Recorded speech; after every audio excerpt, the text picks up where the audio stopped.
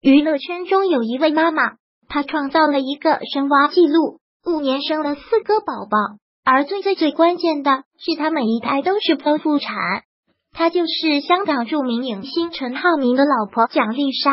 蒋丽莎，二零一一年十一月，她剖腹产下大女儿；二零一三年九月，剖腹产诞下儿子；二零一四年十二月，剖腹产生下三女儿；二零一六年三月。还是剖腹产生下四女儿，她自己表示，可能你们都不信，我的那个大夫很好，我剖腹产一点都不疼，我生四胎都从来没有坐过月子，四个子女也都是由蒋丽莎自己带大的，一个人带四个小孩，尽量被很多人吐槽为生娃机器，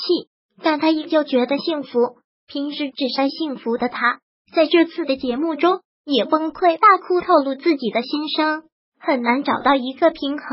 经常管不了孩子，操控不了孩子的心境。节目播出后，网友惊呼心疼这样的姑娘。现在二胎政策开放，许多家庭都计划再要一个小宝宝。可是问题来了，一胎是剖腹产分娩后，二胎的出生会有时间上的要求吗？一般情况下，医生都会建议两到三年再分娩第二胎，第一胎剖腹产。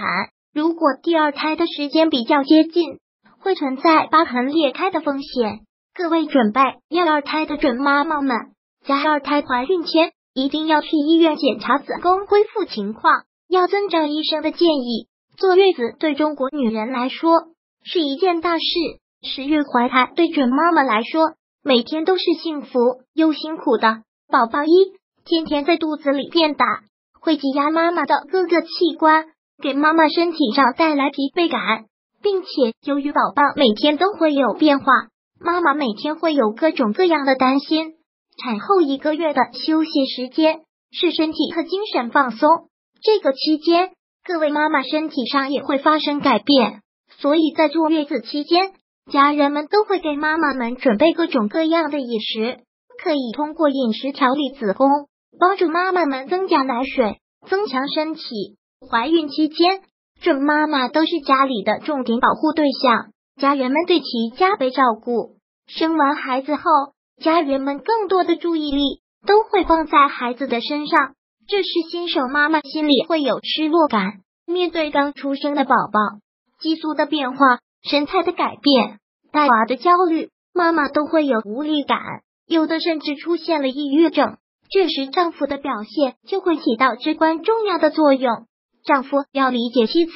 认真倾听妻子的诉求，不要打断妻子，也不要轻易下出结论。站在妻子的角度考虑问题，会让妻子不会有孤军奋战的感觉。要加入到照顾宝宝的行列中，帮助妻子分担照顾宝宝的辛苦。如夜间喂奶的时候，可以陪伴一下妻子。妻子喂完奶后，帮助安抚宝宝，哄宝宝睡觉，让妻子能够好好休息。